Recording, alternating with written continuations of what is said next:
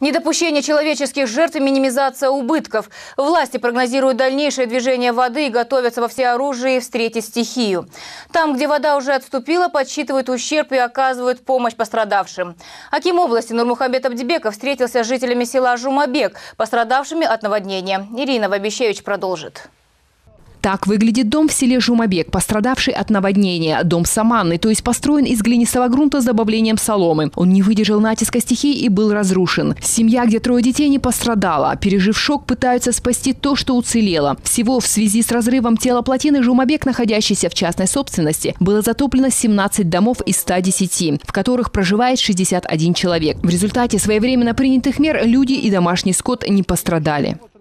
Кішкентай еще школ мектепке баратын немерем бар қолымда Нурмухамбет Абдибеков, Аким Карагандинской области, приехал в село Жумабек, чтобы ознакомиться с ситуацией на месте и пообщаться с пострадавшими. Семье, оставшейся без крова, было предоставлено жилье. Аппарат Акима села и предприниматели взяли на себя обязательства по обеспечению этой семьи всем необходимым на весь период адаптации. Для устранения последствий затопления в селе работали 17 единиц техники и 90 человек, привлеченных из государственных учреждений Абайского района и Курминской средней школы. К настоящему времени 20 15 человек вернулись в свои дома. Остальные пока проживают у родственников. Пострадавшим в рамках законодательства будет возмещен ущерб, который еще только предстоит оценить.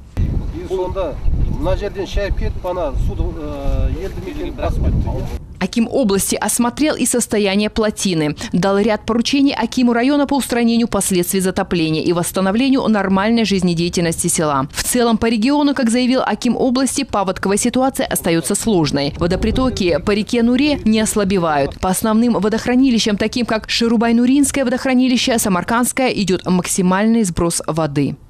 Мы надеемся, что в течение где-то двух-трех суток это снижение э, поступления воды э, наступит и по э, районам, которые сейчас испытывают сложности. Это в районе как раз Самаркандского и Шурубай-Нуринского водохранилища. На сегодняшний день имеется порядка 35 населенных пунктов по области, где в той или иной мере произошло подтопление. Поселок имени Габидена Мустафина был практически полностью подтоплен. Мы своевременно отселили более 4 тысяч человек из как раз населенного пункта имени Габидена Мустафина. Э, и, э, как показывает э, результат, мы своевременно это сделали.